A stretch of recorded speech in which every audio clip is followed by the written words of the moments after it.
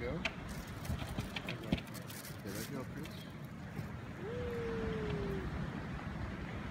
There we go. It takes a little different path.